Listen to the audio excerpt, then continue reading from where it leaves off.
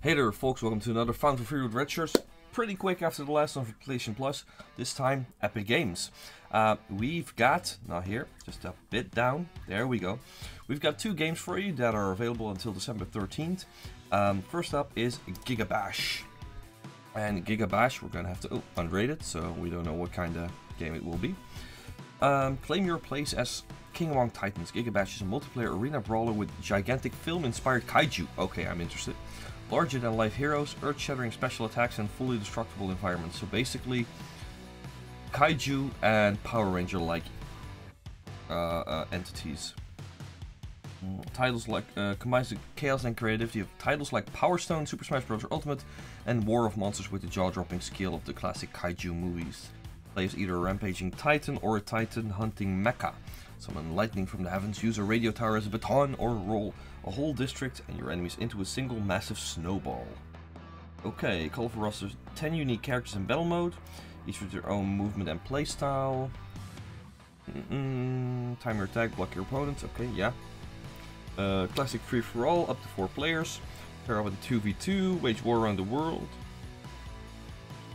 Up on the couch to challenge up to 3 friends with local multiplayer. Nice. Nobody home, no problem, just head online. Uh, discover the origins and misadventures of the Titans in four unique single-player campaigns. I like that. They're each their own oversized protagonists. Duel mode challenging play from around the world. And a party mode with variety of minigames. Also, Ultraman 4 character characters pack. That's interesting. Ultraman anime uh, character pack. There's a Godzilla Kaiju pack with official Kaiju, official Godzilla support with Godzilla, Gigan, Mecha Godzilla, and Destroyer. Oh man, that's amazing. Yeah, this looks to be very, very fun. Stupid fun, but fun. So that's gonna get added for sure. I would suggest trying it, especially if, if you have a friend or something you can play this with. Absolutely do that. GigaBash, I did not know that existed. I missed that in my life. Continue browsing and we go back to the second game, which is a predecessor. Also until December 13th. Let's see what it is. Predecessor is a Paragon-fueled, fast-paced action game that combines MOBA and first-person uh, shooter gameplay, putting you at the heart fight with a strategic choice that actually sounds like the game Paragon. I think that tanked at, a, at some point. Third-person control and immersive action, but they were talking about first-person shooters. Okay. An early access game. Normally was about 9 euros, so not too special, but might be fun. Um, over 30 heroes to choose from. New heroes frequently joining the roster. Uh, archers, cage fight robots. Uh, uh, um, purchase the base game or one of the early access bundles is the only way to play predecessor. Uh, early access gives players the opportunity to have an advanced look at the game while providing feedback.